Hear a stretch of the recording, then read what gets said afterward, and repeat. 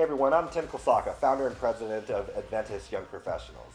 I'm excited for the Awaken Conference, which is coming to South Carolina February 25 to 27, and I am looking forward to seeing how God will work through this incredible weekend. I'll be sharing a talk about amplifying sticky faith through your adulting journey, and I hope you will join me there.